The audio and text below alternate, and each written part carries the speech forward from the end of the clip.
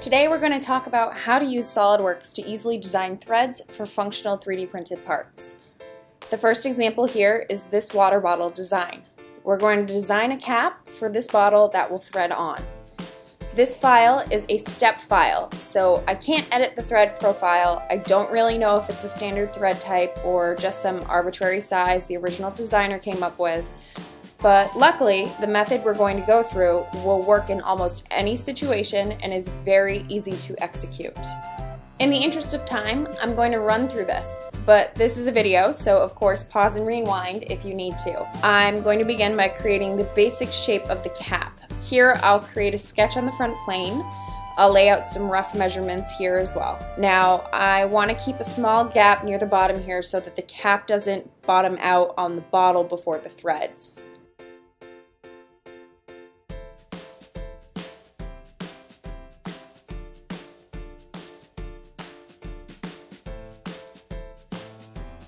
Just round off this corner here, 8 millimeters is good. And let's revolve this around the center axis here. We want a separate body, so make sure you turn off merge result. Okay, now we have the cap. Let's make it a different color. In order for me to see the threads, I'm gonna hide the cap. Let's switch for the Surfaces tool tab. Select the Offset Surface tool. We'll be printing this on an FDM machine. 0.3 millimeters is a good amount of gap. Now select the cylinder here and go around and select all the surfaces of your threads. Make sure you don't leave any holes.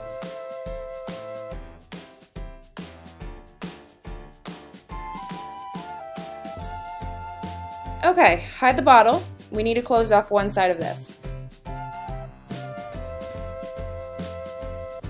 Let's use the fill surface tool. Merge that so it creates one surface.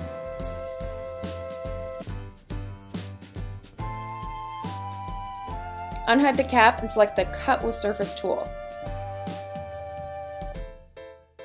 The little arrow here shows which direction it is going to cut.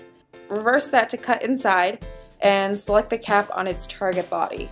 We can hide this surface now, and voila! We have female threads inside this cap. I like this method because we can easily go back into the feature tree and easily change that surface offset. If we discover the thread fit is too loose or too tight, just adjusting that one number will tighten or loosen the fit accordingly. Very easy way to make quick adjustments. I'm going to add some cuts around here to grip this cap well.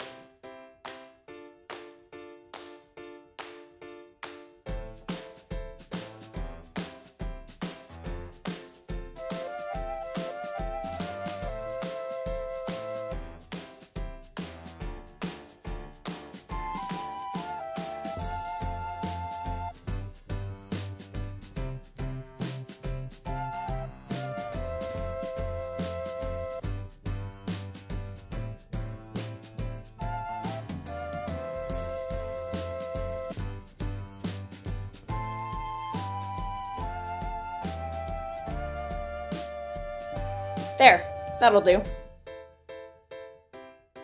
Awesome, and there we have our cap.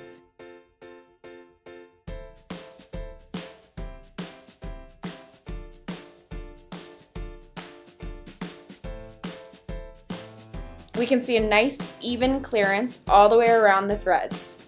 Perfect. Let's bring this cap into a separate file so we can export to an STL for printing.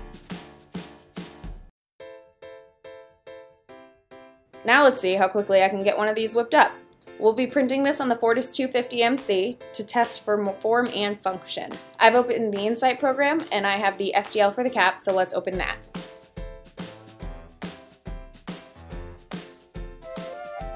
Let's orient this with the top side up.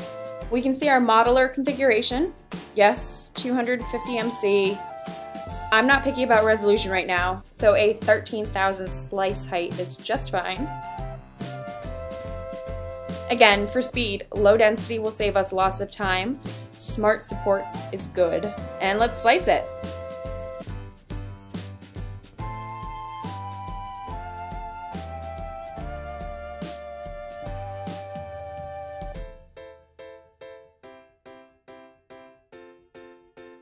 Great, that was quick. Let's look at our slices. We can see Insight generated supports all inside the threads here.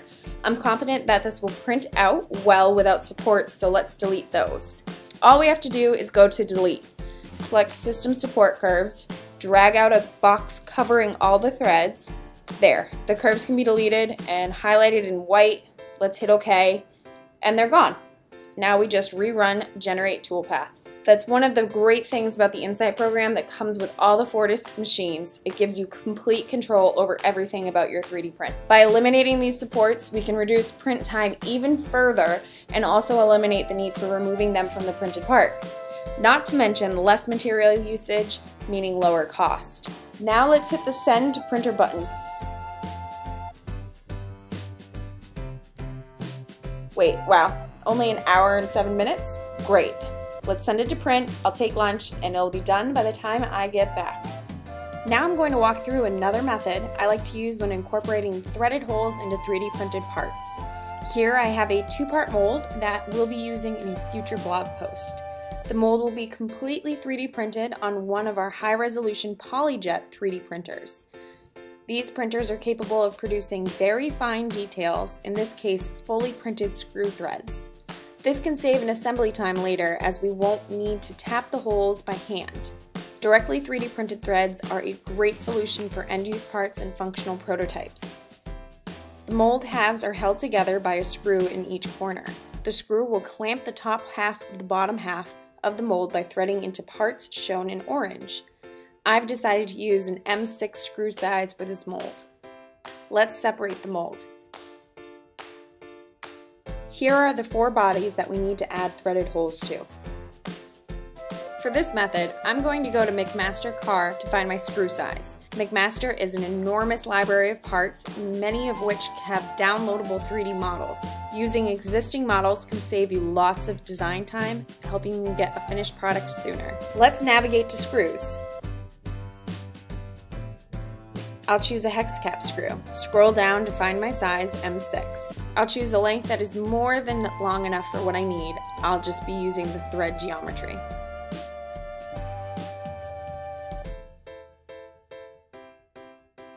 Any of these should work. I'll choose this high strength steel version part number and a little CAD icon should show up. Click that and it brings us to this page. We can see the nicely modeled threads. Let's make sure SOLIDWORKS is chosen for the file type and click download. I've already saved this model, so let's go back to SOLIDWORKS. Inside the part file, we'll use the insert part command. Now I'm gonna select the screw model I just downloaded this will bring it into our current part file as a separate solid body. Confirming the threads are accurately modeled is a time saver. Place it anywhere, We'll align it to where we want it with the Move Copy Bodies command. Select the screw as the body you want to move. Now, similar to Assembly Mates, you can use the tool to align the screw to the hole by selecting the two cylindrical faces. Click Add. Now choose the depth of the screw by adding a distance mate. 12 millimeters of depth should be good. Hit add and then the green check mark. Before I combine this, I'm going to scale up the screw slightly to account for some clearance between the printed part and the screw. Now my last method, the offset surface method, didn't work here so I'm using a different method. I'm going to scale up the screw by 2%. Select the scale tool and scale about centroid 1.02 times scale.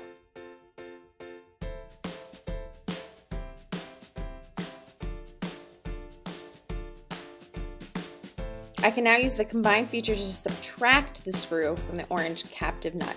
Select the nut as the main body and the screw as the body to subtract.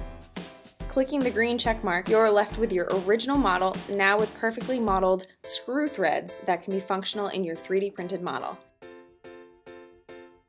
We've just covered two super easy ways to incorporate working threads into your designs. The methods we've discussed are useful tools for anyone who designs or manufactures parts. They aren't just limited to the people with 3D printers. You've learned you can use CAD data from McMaster-Carr to model standard metric and even NPT threads, and a quick way to create mating threads on an, an existing design. Between the two methods discussed in this video, you're able to add more depth and value to your designs. For those of you that do have 3D printers, this is a great tool for adding functionality to proof of concept, marketing, or end use parts. Thanks for joining.